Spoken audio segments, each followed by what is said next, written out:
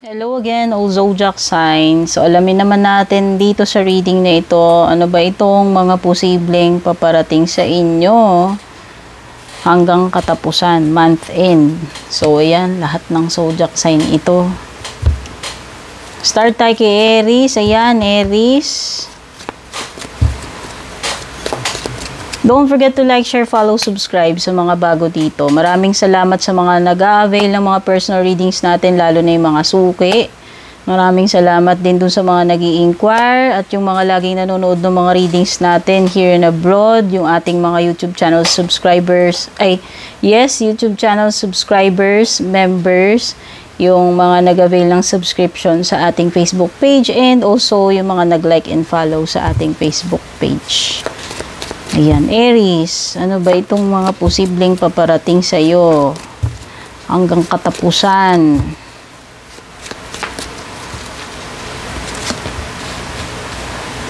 Uy, mukhang merong mahihit na target o kung may mga kota, may mga deadlines, kung may mga gustong ma matapos, ma-accomplish, yan. Mukhang makukumpleto mo yan, mamimit mo yung deadline or maa-achieve mo yung quota or dapat mong ma-achieve.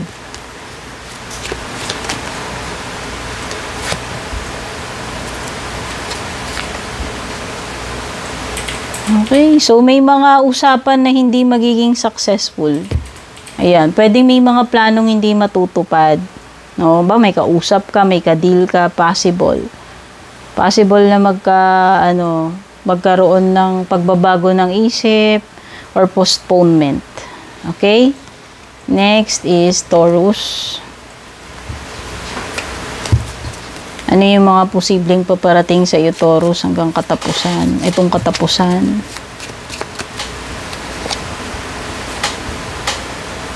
You will be taken care of in difficult times. So, may mga mahihirap na sitwasyon darating sa iyo, Taurus. Mukhang hindi ka naman ano diyan, hindi ka naman magiging talong-talo or kawawang kawawa, ano, hindi ka naman pababayaan ni Lord or ng mga angels mo, ayan. You will be taken care of in difficult times. So, may mga babakap sa iyo, pwede may mga tutulong sa iyo, no? Sasalo sa iyo sa pinaka mahirap na kalagayan or sitwasyon na ma-encounter mo.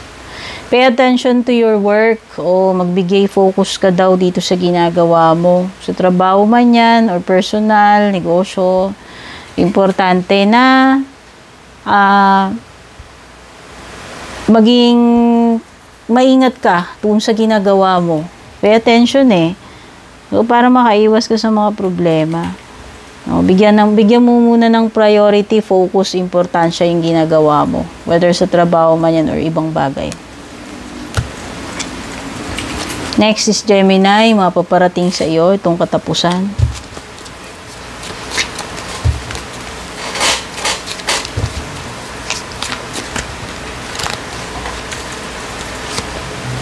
Wow, pera. So, mo may pera. Pero darating sa iyo, Gemini, katapusan. Sahod man yan or may magbabayad sa iyo or or ano to, um, profit, kinita, no? Mukhang meron Or kung may ine-expect ka padala, no, kung ano man ito, basta pera eh. Strong emotion, passionate love or hate. Ayan. Love or hate, galit o pagmamahal, anumang strong emotion ito, no, pwede kang madala sa emotion mo. Okay?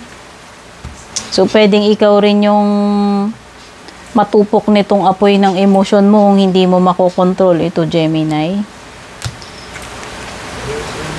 Control your anger. Yan. Cancer. Ano ba itong mga paparating sa iyo? Kung katapusan.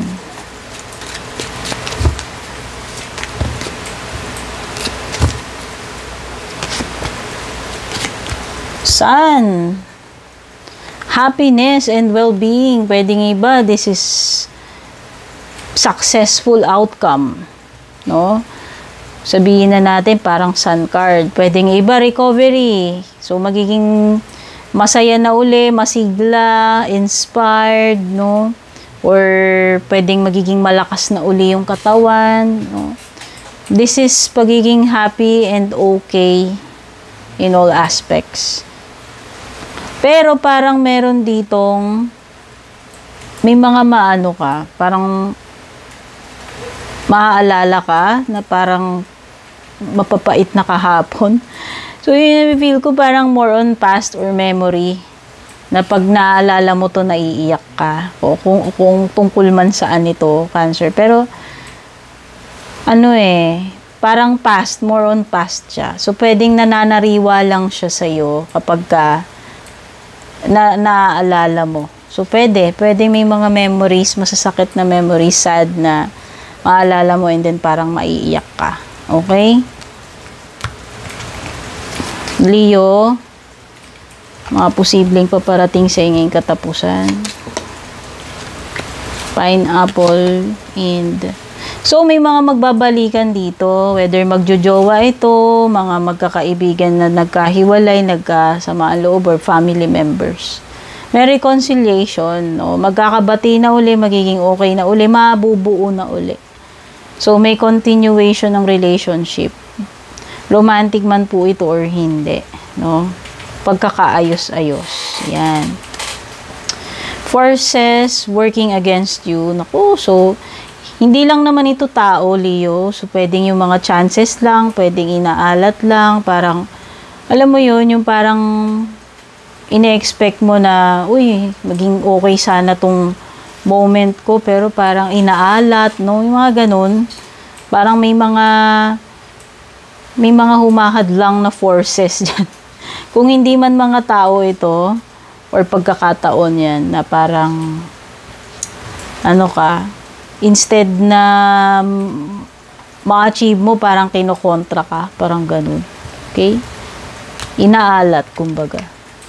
Next is Virgo. May mga paparating sa iyo. Kung katapusan.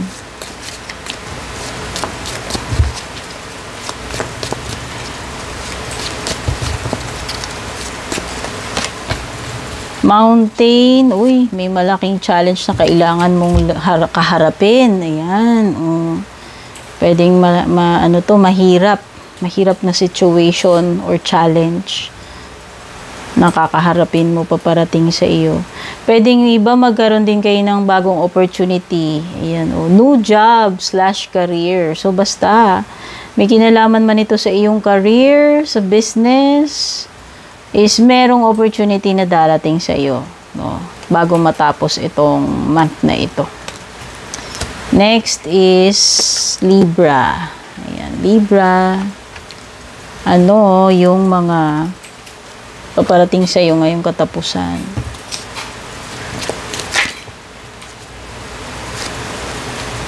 Oy, Libra, mag-ingat ka ah. May binabanggit dito about health. Naku, ayaw na ayaw ko tong card na to. O, hindi tayo doktor, syempre.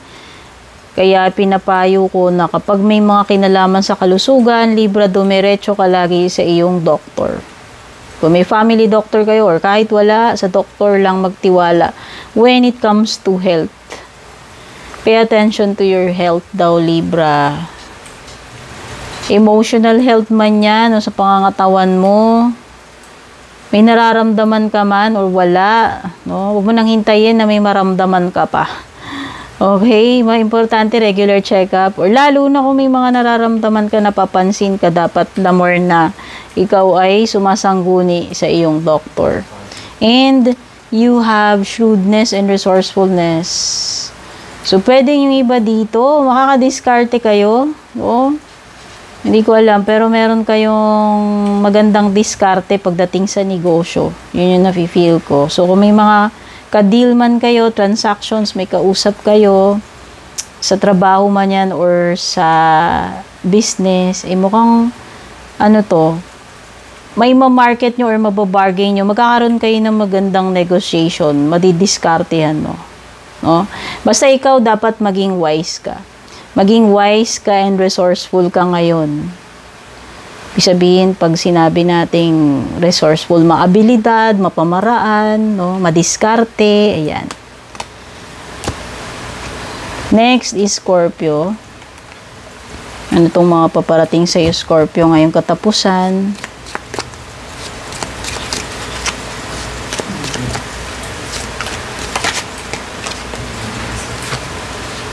Ay, naku, may mayabang Scorpio. May na ka daw dito kay Rooster. Meron dito masyadong mad ma, ano, yung puro ingay, madada, mayabang, maporma. Ayan. Some arrogant, boastful person you should not cross. So, iniiwasan mo to. Ayaw mo itong makaharap, pero mukhang makakaharap mo siya. Okay? So, hanggat maaari, iwasan mo na lang to avoid conflict or away, kung magkainisan man kayo, or para lang hindi ka na maimbierna. Ano? Huwag mo na lang pansinin. Wala rin naman mangyayari kung papatol ka dyan, baka mapatrouble ka lang. Okay? Kaya mo siya magyabang na magyabang kung feel niya yan. ba? Modeled on clear thinking. So, pwedeng Ewan ko, meron something na magpapa-confuse sa iyo, Scorpio, itong one of these days, no? Itong katapusan. Pwedeng may mga sitwasyon dito na magugulo yung isip mo. And pwedeng may stress ka or hindi ka makapag-isip, makapag-decide ng maayos. Okay? Next is Sagittarius. Ano yung mapaparating sa iyo ngayong katapusan, Sagittarius?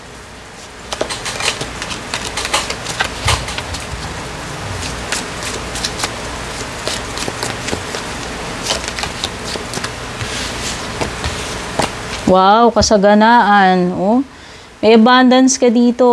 Plenty of material things. So, umuulan ng grasya, biyaya, mga material. And, meron kang matatanggap kung ano man ito, regalo daw, no, material man ito, hindi. This is a gift na marereceive mo. Grasya, biyaya, gift. At syempre, ayan, masagana. Pagiging masagana at yung marireceive mo na blessing or regalo. Wow. Next is Capricorn.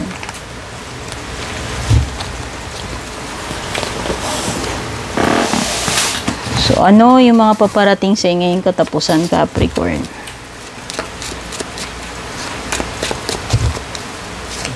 mga posibleng matatanggap mo. Posible, take note. Huwag nyo akong i-bash kung hindi nyo na-receive. Okay? Remember, card readings lang ito. So, meron something exciting. Yan, may gagawin kang something exciting or mangyayari na lang sa'yo. Kung ano man ito, may paparating sa iyo. Uh, magiging excited ka about. Okay? O pwedeng ito ay success or pwedeng may kinalaman sa um, pwedeng lakad or basta meron something dito na ano exciting exciting to pag nalaman mo so pwedeng kikiligin ka ma-excite ka ayan sa career mo man yan sa relationship or sa family chain of events that will affect your life So, mag-ingat ka. Mag-ingat sa mga susunod na gagawin mo, decisions mo. Kasi, kung ano man yan, no, pwedeng magkaroon ng mga consequences ito na parang magiging sanga-sanga yung epekto sa buhay mo. So, kung gagawa ka ng mga major decisions, actions, kung may mga importante na kaganapan man, magiging maingat ka. Kasi pwedeng magkaroon ng malaking impact ito sa mga susunod na panahon. No, maging malaki impact niya sa buhay mo or buhay ninyo ng family mo. Next is Aquarius.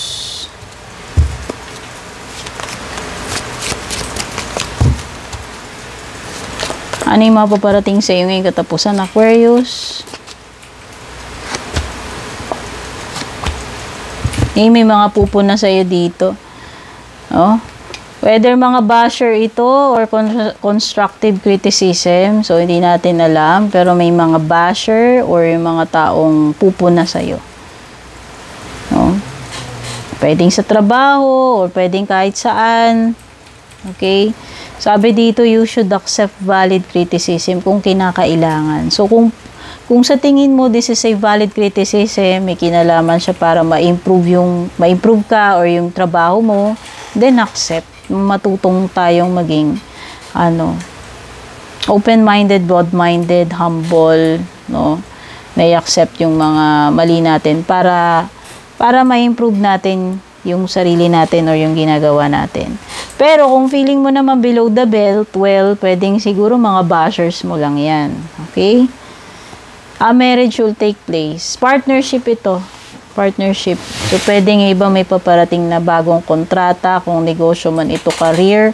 Or pwedeng iba, baka naman marriage contract na yan. Or pagpasok sa isang commitment or relationship. Basta kung ano man ito na papasukin ninyo, na i-commit ninyo yung sarili ninyo.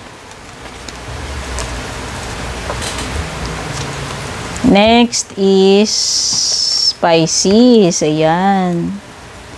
Ano to mga paparating sa iyo Pisces ngayong katapusan?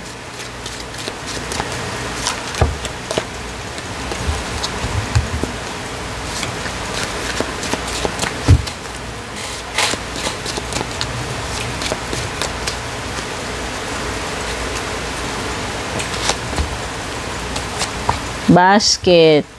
Uy, recognition, reward. So, mabibigyan ka ng ano, ng special recognition or attention dahil deserve mo daw, Pisces. Ayan. Reward eh. So, ibig sabihin, kung ano may ginawa mo, nagpakasipag ka, pinagtrabahuan mo yan, kung ano man yan, tungkol man yan sa trabaho mo, or sa relationship mo, or kung saan, sa personal na activities, endeavor, pwede kang mare-reward dyan. Magkakaroon ng ano, magandang resulta or bunga. Yan. Magkakaroon ng magandang return, resulta or bunga itong ginawa mong maganda or kasipagan mo. Kung ginalingan mo, deserve mo, yun yung marireceive mong merit or reward. Ayan. Congratulations. At get back to the basics, Pisces. Okay? So, do not overcomplicate yung mga bagay. So, minsan, um, a simple problem needs a simple approach or solution. Try mo muna yung mga basic bago ka uh, pupunta doon sa complicated. Minsan, nakakaligtaan natin yung mga pinakasimple pero yung pala yung mga pinaka-importante na dapat unahin natin or bigyan muna natin ng emphasis or focus. No? So, ayan. Sabi ko nga, um, do not complicate muna yung mga bagay. Huwag mo munang i-exaggerate. Try mo muna yung basic, your simple approach. Okay, Pisces? And everyone, all zodiac signs, sana nagustuhan nyo to. Please don't forget to like, share, follow, subscribe. Regarding personal reading services, guys, diretso lang po kayo sa aking official Facebook page. Mag-PM po kayo doon. Take care and God bless.